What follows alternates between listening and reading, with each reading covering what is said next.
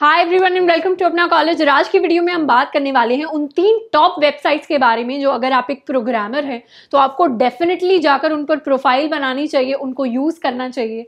बहुत सारे coders around the world in websites को रोज यूज़ करते हैं। एंड अगर आप एक अच्छे कोडर हैं, जिसको एटलीस्ट छः सात महीने हो गए हैं, आप एक डेवलपर हैं तो आपको इनके बारे में ज़रूर पता होगा। या फिर अगर नहीं पता है तो इसके बारे में हमें पता करना चाहिए।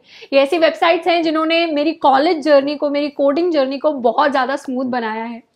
इनमें से सबसे पहली वेबसाइट है स्टैक ओवरफ्लो डॉट कॉम अब स्टैक ओवरफ्लो एक प्लेटफॉर्म है ऑनलाइन जिस पर बहुत सारे कोडिंग के जो क्वेश्चंस आंसर्स होते हैं, वो पोस्ट किए जाते हैं। काफ़ी सारे डेवलपर्स अराउंड द वर्ल्ड इस पर क्वेश्चंस पोस्ट कर सकते हैं। जो भी उनको एरर आ रहा है, जो भी वो बग्स फेस कर रहे हैं प्रोजेक्ट्स में, अपनी इंटर्नशिप्स के टाइम पर जॉब्स के टाइम पर।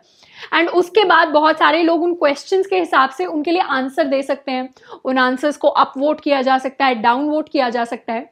तो अगर आप एक ऐसे कोडर हैं जिसको फ्रीक्वेंटली प्रॉब्लम्स फेस कर रहे हैं या फिर आप कॉलेज के अंदर हैं, आप नया नया प्रोजेक्ट बना रहे हैं जिसमें प्रॉब्लम्स आती है तो उस टाइम पर अगर आप उन एरर्स को सर्च करेंगे इंटरनेट के ऊपर तो शायद ही कोई ऐसा होगा जिसके टॉप फाइव सर्चेज में स्टैक ओवरफ्लो ना आए।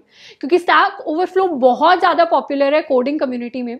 उसके साथ साथ अगर मैं बात करूँ कि मेरी इंटर्नशिप जब चल रही थी माइक्रोसॉफ्ट में तो एक टीम थी जो हॉलो लेंसेज पर काम कर रही थी। एक नई टेक्नोलॉजी के साथ वो काम कर रही थी जो जो ज़्यादा पॉपुलर नहीं है तो उसमें वो कुछ प्रॉब्लम्स फेस कर रहे थे तो स्टैक ओवरफ्लो इतना रिलायबल था कि उनको कोई प्रॉब्लम आती थी, जो शायद टीम के कोई डेवलपर्स आंसर नहीं कर पाते थे तो वो स्टैक ओवरफ्लो पर उसको पोस्ट करके छोड़ देते थे एंड एक दो दिन में उनको उनकी प्रॉब्लम के जो थे आंसर्स मिल जाते थे। तो इतना इफ़ेक्टिव होता है सिर्फ़ प्रोजेक्ट्स के लिए ही नहीं, अपने एक्चुअल काम के लिए इंटर्नशिप के लिए एंड स्टैक ओवरफ्लो से बेसिकली आपको रियलाइज़ होता है कि कोडिंग कम्युनिटी कितनी हेल्पफुल है, क्योंकि सब एक लोग आ रहे हैं एक दूसरे की हेल्प कर रहे हैं आंसर्स पोस्ट कर रहे हैं दूसरों की क्वेरीज के लिए। एंड अगर रात में बैठकर आप, अगर आप कोई प्रोजेक्ट बना रहे हैं, आपके फ्रेंड्स नहीं जाग रहे उस टाइम पर, आपको कोई एरर आ रहा है तो अगर आप जाएँगे तो वो एरर किसी ना किसी ने पहले फेस किया होगा और वो वहाँ पर आपको मिल जाएगा। सेकेंड वेबसाइट जो कि काफ़ी हेल्पफुल रही, वो है मीडियम डॉट कॉम अब मीडियम डॉट कॉम एक ब्लॉग्स की वेबसाइट है जहाँ पर आर्टिकल्स ब्लॉग्स लोग पोस्ट करते हैं, बहुत सारे टॉपिक्स पर एंड ये बहुत अच्छी क्वालिटी के आर्टिकल्स होते हैं तो यूजुअली काफ़ी सारी इन्फॉर्मेशन काफ़ी सारे interesting topics and even basic topics पर हमें आर्टिकल्स वहाँ पर मिल जाते हैं। तो वो लोग जिन्हें पढ़ने से ज़्यादा सीखने को मिलता है, वो उस वेबसाइट को जाकर एक्सप्लोर कर सकते हैं। एंड अगर हम कोडर हैं तो डेफिनेटली हमें रीडिंग की हैबिट ज़रूर बनानी चाहिए, क्योंकि जब भी हम जॉब कर रहे होंगे या फिर इंटर्नशिप कर रहे होंगे तो उस टाइम पर नई चीज़ें हमें सीखनी पड़ेगी। एंड नई टेक्नोलॉजी को सीखने के लिए सबसे बेस्ट सोर्स होता है उसकी डॉक्यूमेंटेशन पढ़ना। तो तब आपको डॉक्यूमेंटेशन पढ़ने की आदत हो। इसीलिए उससे पहले थोड़ा सा हम ब्लॉग्स रीड कर सकते हैं आर्टिकल्स पढ़ सकते हैं, चीज़ें पढ़ सीख सकते हैं। तो मीडियम डॉट कॉम पर काफ़ी सारे टॉपिक्स के बारे में काफ़ी अच्छे से एक्सप्लेनेशन है। उस पर वीडियोज़ भी मिल जाते हैं ट्यूटोरियल्स भी मिल जाते हैं साथ में। और आपके काफ़ी सारे टॉपिक्स बहुत अच्छे से एक्सप्लेन होते हैं। मेरे कॉलेज जर्नी के टाइम पर मेरा एक सब्जेक्ट था मशीन लर्निंग एंड मैंने और मेरे रूममेट दोनों ने जो था पूरा का पूरा मशीन लर्निंग सिर्फ़ मीडियम डॉट कॉम से सीखा।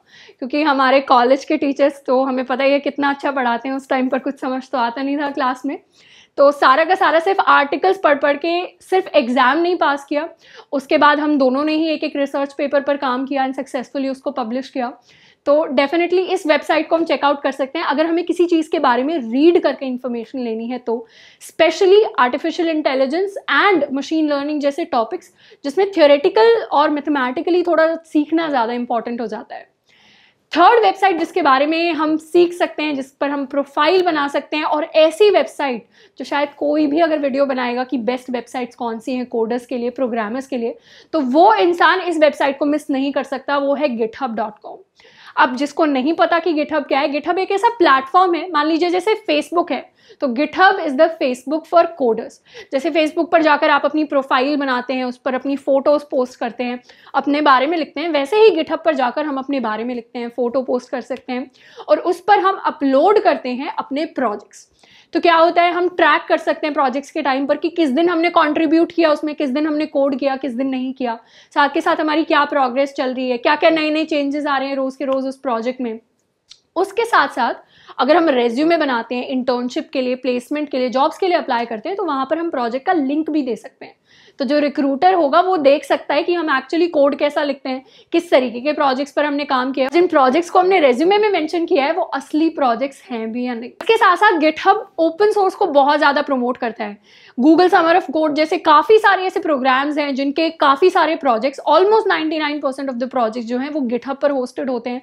क्योंकि गिटहब एक काफ़ी open source vibrant community provide करता है, जिसमें लोग आकर आपके प्रोजेक्ट्स देख सकते हैं।